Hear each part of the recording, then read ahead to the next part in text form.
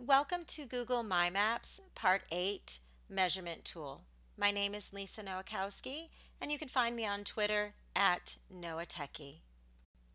This last tool that I'd like to talk about is the measuring tool or the measurement tool. It's this little ruler here. So if I go ahead and click on it, it gives me crosshairs.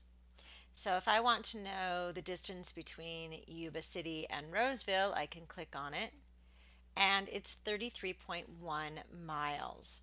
I can continue on with that to as many places as I'd like.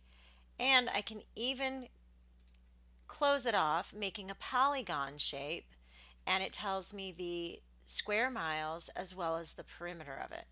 This is very similar to the line tool that we talked about a few days ago.